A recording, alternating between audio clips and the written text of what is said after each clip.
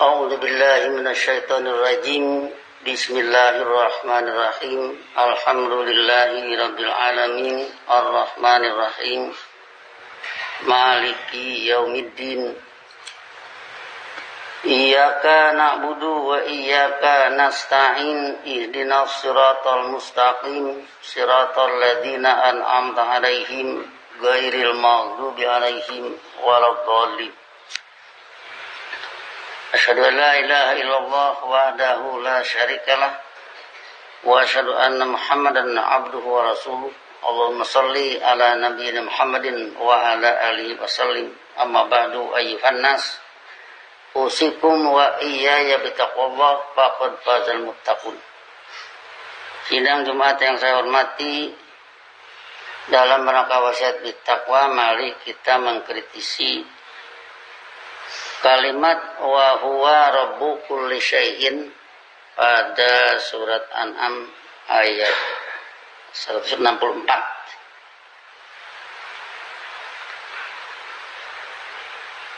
Ayatnya berbunyi Qul a abgi rabban wa huwa rabbu kulli syai'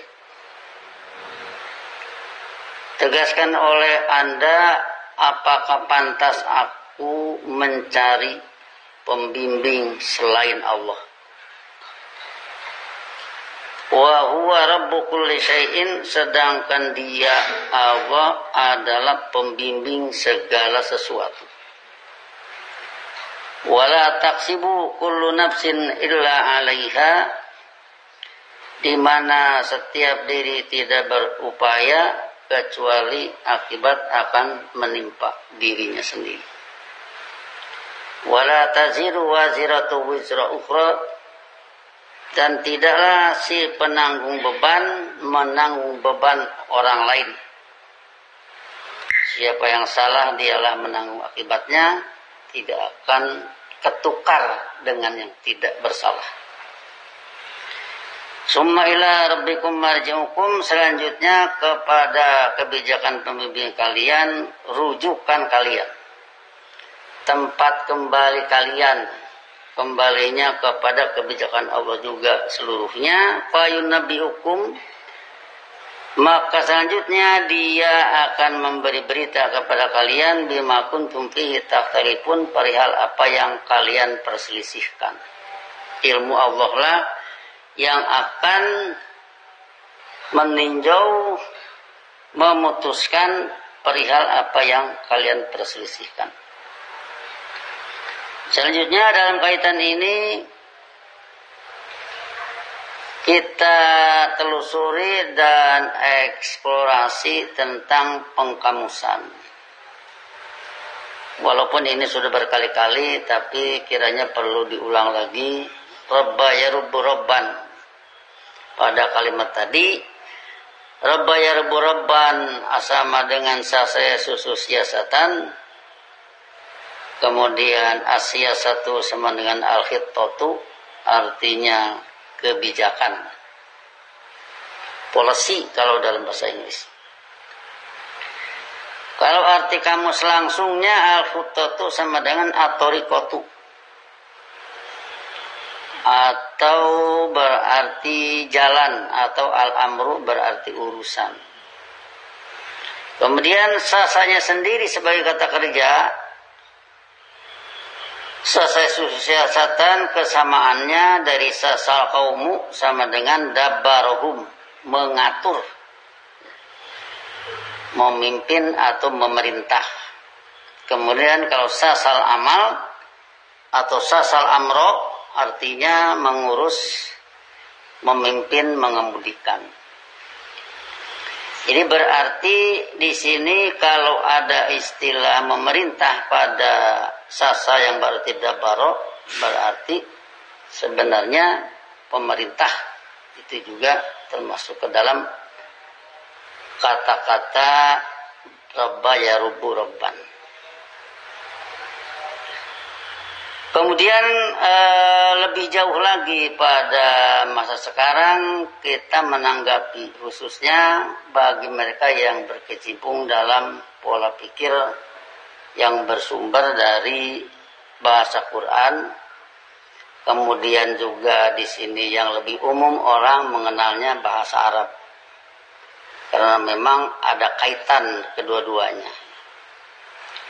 Artinya bahwa bahasa yang berlaku ini berkembang menjadi satu nama dari satu bangsa. Tapi sebenarnya sumber bahasa Quran itu dari Quran itu sendiri. Sumbernya dari Allah berarti sejak Nabi Adam alaihissalam ilmu diturunkan seperti itu.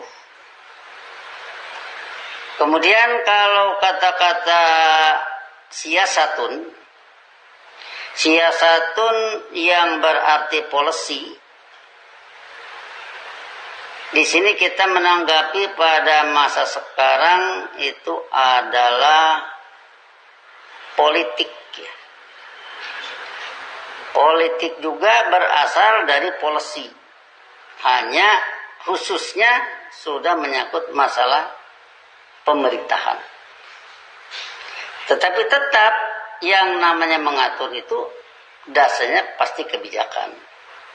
Oleh karena itu, kalau untuk bahasa Arab yang berlaku sekarang, Asia satu itu politik politik itu asyasah jadi dengan demikian kalau wahwa rabbu kulli syai'in dia adalah pembuat kebijakan segala sesuatu berarti segala sesuatu sebenarnya itu adalah polisi Allah segala sesuatu itu adalah politik Allah kalau pakai istilahnya politik sehingga misalkan kalau uh, kita melihat alam semesta, alam semesta ini Allah ciptakan. Setelah Allah ciptakan, Allah gerakan. Setelah Allah gerakan berarti bergerak. Nah, bergeraknya itu atas kebijakan Allah Dengan kebijakan Allah maka Allah memperlihatkan antara lain kepada Nabi Ibrahim wa kadzalika nuri Ibrahim malakuta samawati wal ard waliyakuna minal mukminin seperti itulah kami memperlihatkan kepada Ibrahim kerajaan besar semesta angkasa dan bumi ini Kemudian dengan kalimat waliyakuna minal mukinin yaitu agar dia menjadi bagian dari orang yang yakin. Sedangkan kata-kata yakin itu terdapat dalam kaitan dengan orang iman pada surat Baqarah wabil akhiratihum yukinun. Nah, jadi yakin ini uh, Nabi Ibrahim oleh Allah diperlihatkan kerajaan besar semesta angkasa dan bumi ini apa kaitannya dengan yakin bahwa kepatuhan alam semesta menjadi rapih? Demikian juga Nabi Ibrahim yakin kalau manusia patuh menurut kebijakan Allah itu juga akan rapih. Itu nanti kaitannya sehingga dalam hal ini kalau kita hubungkan dengan surat muluk Tabarakalladzi biyadihil mulku. Tabaraka kata kerja satu fi ilmadi ya, di sini berarti doa sama dengan sami Allahu liman hamidah. Sama dengan sallallahu Kata kerja satu kan, doa. Jadi fi'il madi ada yang digunakan sebagai doa. Sallallahu alaihi wasallam. Kemudian sami Allahu liman hamidah. Maka di sini tabaraka mudah-mudahan menjelma menjadi kemakmuran. Apa yang menjelma menjadi kemakmuran? Alladzi biyadihil mulku kebijakan Allah yang pada kekuasaannya segala kerajaan ada pada kekuasaannya. Nah, mudah-mudahan kebijakannya itu menjelma menjadi kemakmuran. Wahwa ala kulli qadir yaitu dia dengan penuh ajaran Rasulnya adalah yang berkuasa atau merancang dan memastikan atas segala sesuatu. Alladhi khalaqal mauta wal hayata yaitu dia yang menciptakan kematian dan menciptakan kehidupan. Liya beluakum ayyukum ahsanu amala guna dia menguji kalian. Siapa di antara kalian yang berbuat isan dalam laku perbuatan. Wahwal azizul hakim. Yaitu dia dengan penuh ajaran rasul-rasulnya pembina kehidupan perkasa lagi pem wa huwal ajrul ghafur pembina kehidupan perkasa lagi pengislah kehidupan tiada tara. Alladzi khalaqa sab'a samawatin dialah yang menciptakan uh, tujuh angkasa berlapis mataro fi khalqir rahmani min tafawut Inilah yang kita maksud mataro fi khalqir rahmani min tafawut. Anda tidak melihat dalam ciptaan Ar-Rahman min tafawut arti kamus tafawut ada mutanasub arti ada mutanasub tidak ada keserasian Anda tidak melihat tidak ada keserasian di alam semesta yang Ar-Rahman ciptakan.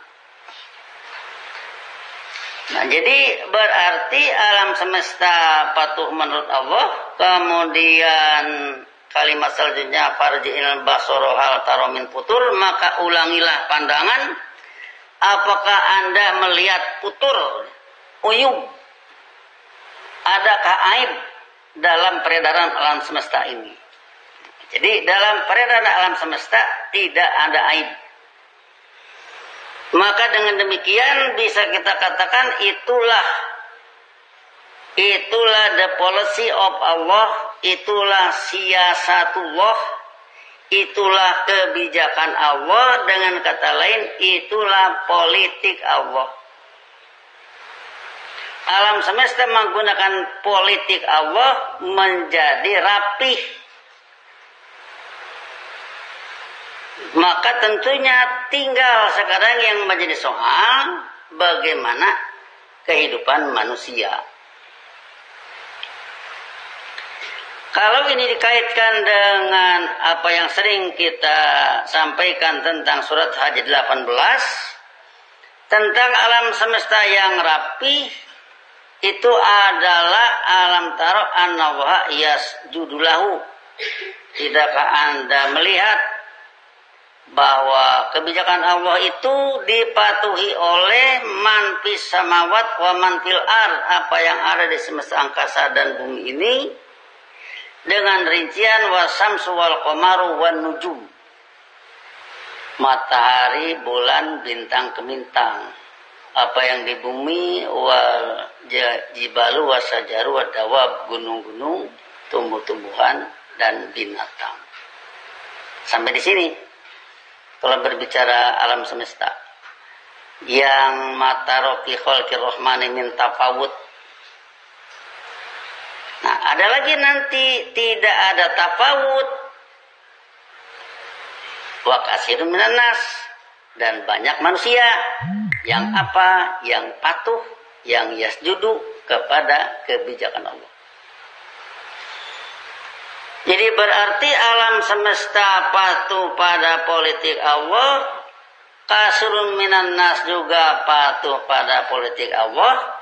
Yang tidak patuh pada politik Allah itu adalah kalimat selanjutnya wa kasirun haqqo alaihil adam. Sebaliknya banyak yang lain berlaku objektif atasnya adam. Wa mayuhinillah Pamalahu min mukrim yaitu siapa yang Allah bikin hina karena orangnya pilih negatif, pilih kupur. Tidak ada yang bisa bikin mulia. Inna waha yaf'alu sesungguhnya Allah berbuat apa yang dia kehendaki. Jadi dari yang dia kehendaki alam semesta patuh, dari yang dia kehendaki orang yang mengambil alternatif iman juga patuh, seluruhnya memakai politik Allah, kalau pakai istilah politik, siasatun tadi maksud saya. Kemudian yang tidak pakai politik Allah menjadi uh, yuhinillah, Allah membuat hina. Tapi semuanya innallaha yaf'alu ma yasha. Sesungguhnya Allah berbuat apa yang dia kehendaki. Semua itu apa yang dia kehendaki. Artinya kalau misalkan Fir'aun mau bersikap negatif, ya kalau napasnya Allah hentikan, nggak akan bisa. Selama Allah beri ruang, bisa bersikap negatif. Tetapi kalau sudah Allah hentikan dengan jalan menenggelamkan di Laut Merah, nggak bisa dia. Udah habis masa negatif, habis umurnya, habis negatifnya kan berarti. Nah, jadi itulah pengertian innallaha yaf'alu ma yasha. Maka dengan itu eh, tinggal kita menunggu manusia yang kasirun minan nas yang menjadi subjek dari kata yasjudu pada surat Hajj ayat 18 yaitu mereka yang apa? Yang memakai siasatullah yang memakai kebijakan Allah yang memakai memakai politik Allah Tentu dalam hal ini kalau urusan kehidupan manusia akan diandalkan kepada orang-orang yang kasirun kasirun minanas yang tadi yang masuk kepada yasjudu lillahi patuh kepada kebijakan Allah. Nah, jadi di sinilah maka tentunya harapan akan bergantung pada orang-orang tersebut. Kenapa? Masalahnya kita sudah banyak buktikan melalui berbagai pembuktian ayat-ayat Quran bahwa Allah selalu membela orang beriman. Hakkan hakon alaina nasrul mu'minin adalah objektif ilmiah atas kami menolong atau membela orang-orang mukmin. Sehingga dengan demikian banyak syahidah yang kita terjemahkan Allah membela. Syahidallahu annahu la ilaha illa huwa Allah membela bahwa tidak ada yang diabi kecuali dia. Dengan apa membelanya?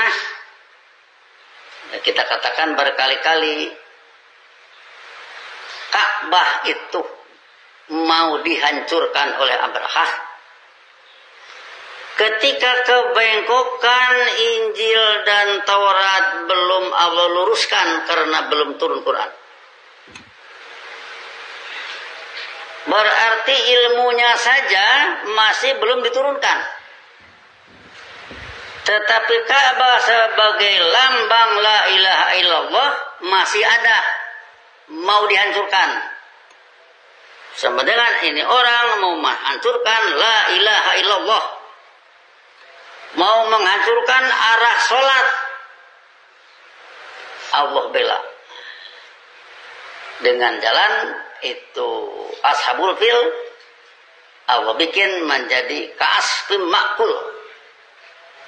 Bagikan daun yang dimakan rayap jadi tidak jadi mereka gagah yang gagah tetap Allah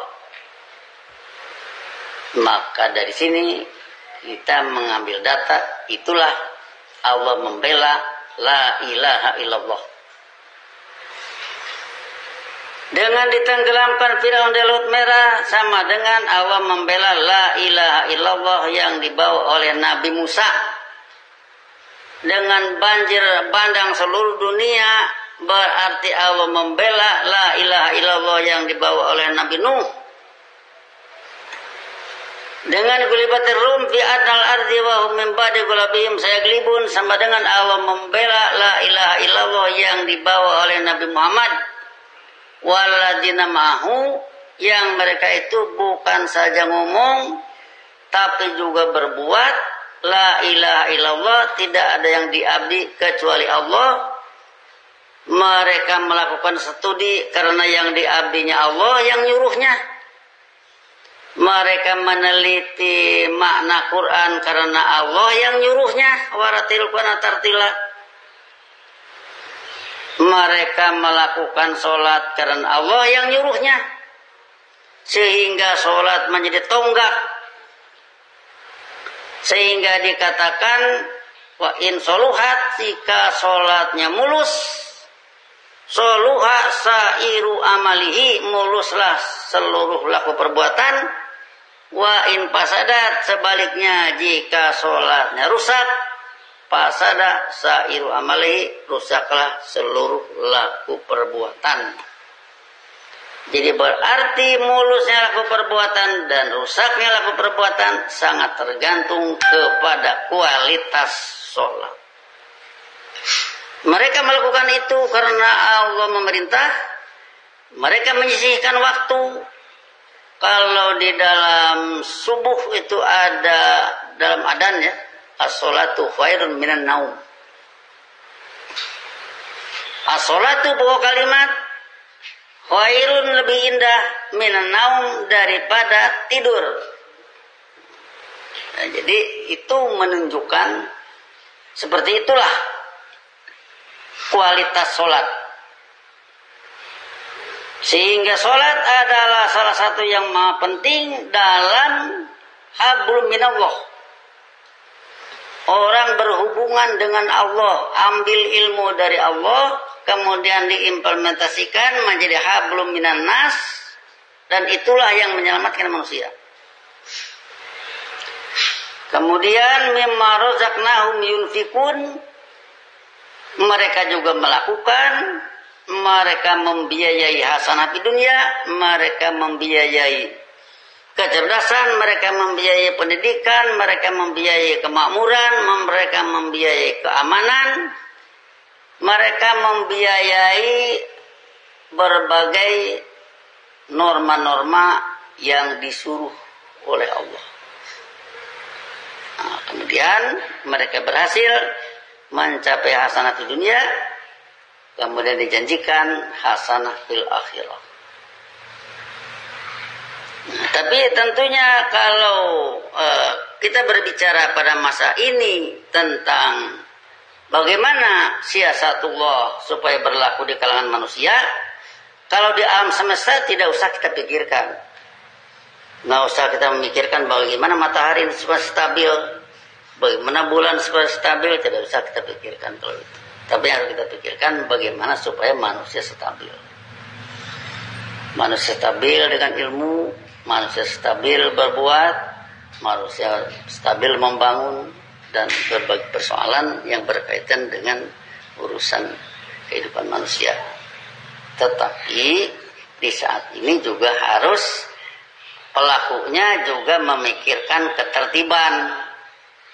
Kenapa memikirkan ketertiban? Sebab perhatikan begitu habis para rasul maka iblis atau setan meminta andirni ke Allah yang minta andirni ila yaumil asun beri aku kesempatan hingga mereka dibangkit hingga para mukmin dibangkit kalau para mukmin sudah dibangkit saya tidak minta kesempatan sebab tidak akan dikasih. Maka Allah menjawab, Inna karena mendorin. Sesungguhnya kamu adalah bagian yang diberi kesempatan. Nah sehingga ini perlu diperhatikan dalam arti Allah masih memberi kesempatan kepada yang bersikap negatif, maka di sanalah harus berlaku apa itu wasbir alamayakulun Jangan mentang-mentang diperintahkan oleh Allah. Begitu mereka ngoceh dilawan misalkan. Padahal ini masa masih indah mundorin. Ya dilawan jadi banyak urusan, jadi banyak pekerjaan. Dan mereka tidak akan hancur. Kenapa? Allah masih memberi kesempatan. Inakanal mudorin itu ruang dan waktu diberi kepada mereka. Harta rezekinya juga Allah kasih. Sebab kalau tidak dikasih rezeki sama Allah ya siapa yang akan jalan nggak akan bisa. Baik mukmin ataupun kafir rezekinya dari Allah Allah juga. Nah, jadi artinya di sini yang harus diperhatikan bahwa kalau ada orang yang ingin sangat ingin siasatullah menjelma dalam kehidupan manusia, politik Allah menjelma dalam kehidupan manusia. Perhatikan innaka minal mundarin. Sehingga aturlah dengan berbagai ketertiban, tertib-tertib sehingga tidak menyalahi apa yang Allah telah berikan kepada makhluknya. Artinya begini, kalau Allah memberi inakan manggarin, yang diberikan makhluk Allah. Ini jangan sampai dilanggar. Salah, ini offside kalau istilah main bola itu. Offside itu artinya uh, tendangan bola ke arah lawan dari posisi yang salah. Kalaupun masuk gol dianulir, malah dihukum dengan free kick, tendangan bebas. Bukan ke arah lawan, tapi ke arah dia yang melakukan kesalahan. Ini perhatikan. Seperti itu kira-kira perbandingannya. Sehingga dengan demikian maka luas-luaslah dalam berdakwah, luas-luaslah dalam berbuat kebaikan, luas-luaslah dalam berbicara, luas-luaslah dalam bertindak, luas-luaslah sehingga tidak mengganggu apa yang Allah telah izinkan. Toh kalau nanti Allah sudah me menyudahi izinnya, itu berarti sudah lain lagi persoalannya.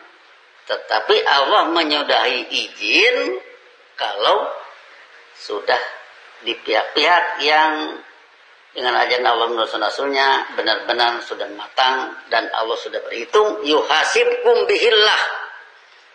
Fayaghfiru liman yasha wa yu'adzibu man yasha Allah beri islah siapa yang dia kehendaki Allah adab siapa yang dia jadi Allah adab siapa yang dia kehendaki berarti mereka yang memilih kufur. Allah yakfir bagi mereka yang pilih iman. Sehingga dengan demikian di sinilah maka uh, tentu kita wasiatkan, saya wasiatkan pada diri saya sendiri kepada semua pihak hadirin sekalian untuk benar-benar mengikuti ketentuan-ketentuan yang Allah telah gariskan tidak melakukan offside. Barakallahu li wa lakum fil Qur'anil azim wa nafa'ani wa iyyakum bima fihi min ayati wa dzikril hakim wa taqabbal minni wa minkum tilawatahu innahu huwas samiul alim wastaghfiruhu innahu ghafurur rahim.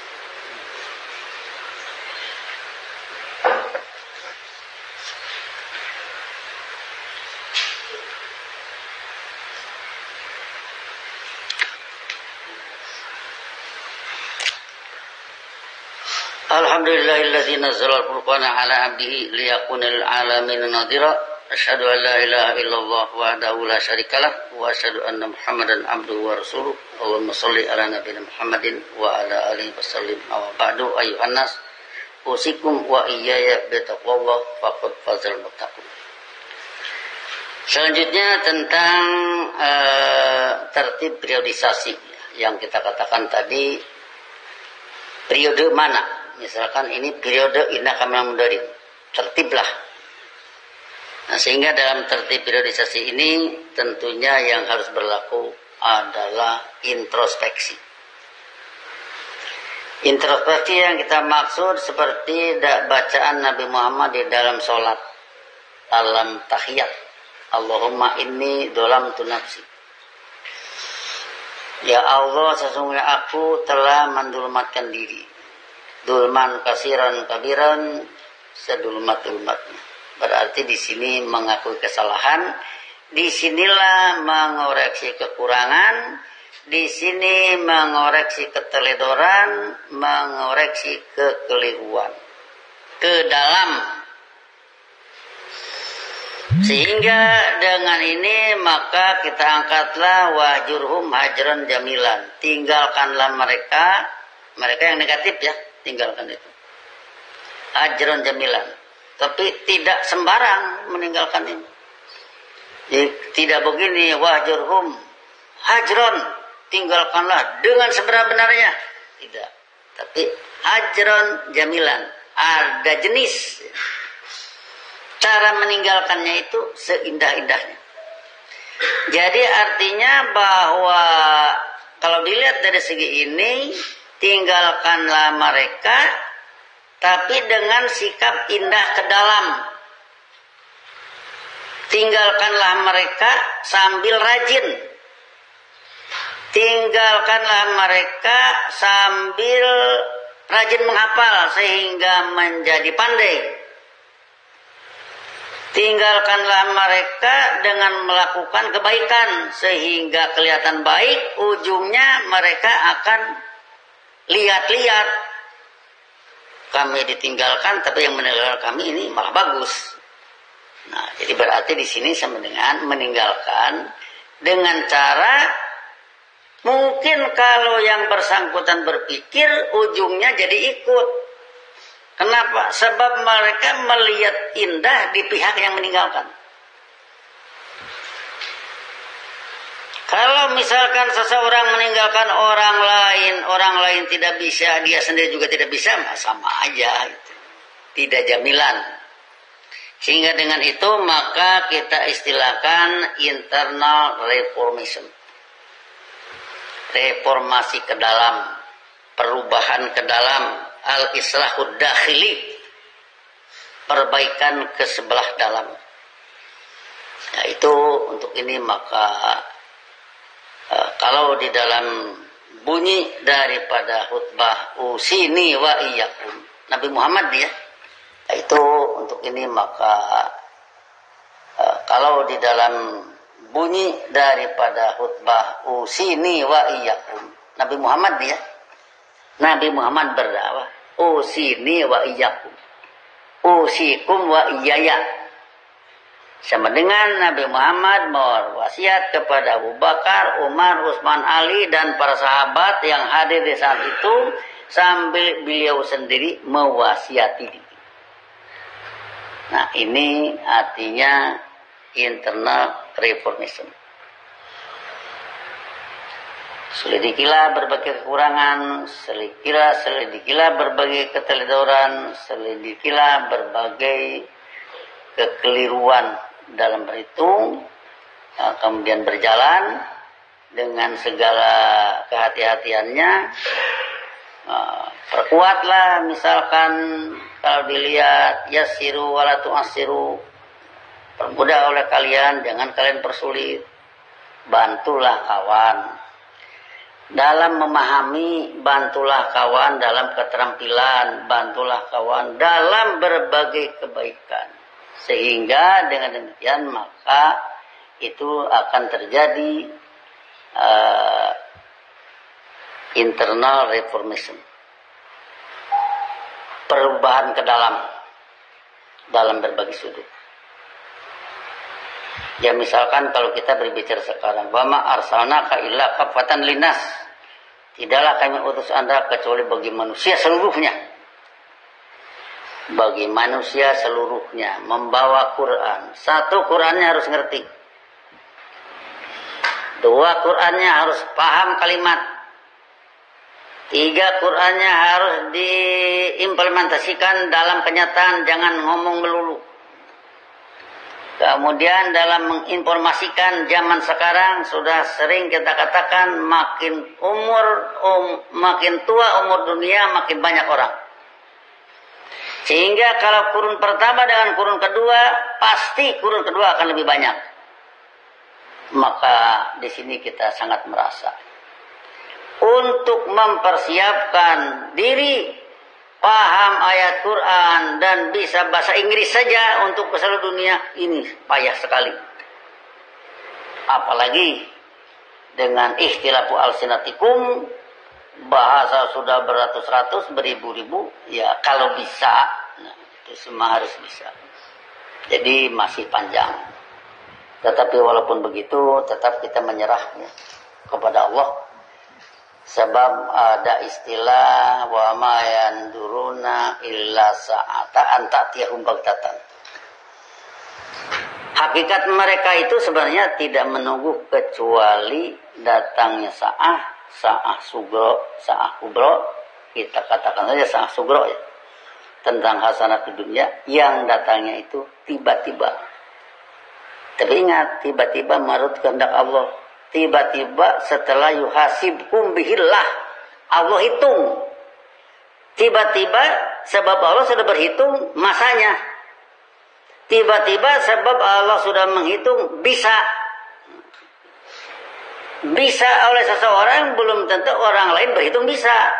Maka bisa saja nanti seseorang menganggap masih lama tapi nanti ada orang lain yang kayak-kayaknya sudah bisa ujung-ujungnya Allah memberi kesempatan terjadilah bagtatan maka dari itu lebih baik semua pihak bersiap-siap mempersiapkan diri, lakukan introspeksi, sejauh mana pengorbanan yang sudah dilakukan, besarkah atau kecil misalkan, mimma rojaknahum yunfikun ini hanya lima ribu atau mimma rojaknahum yunfikun seratus ribu?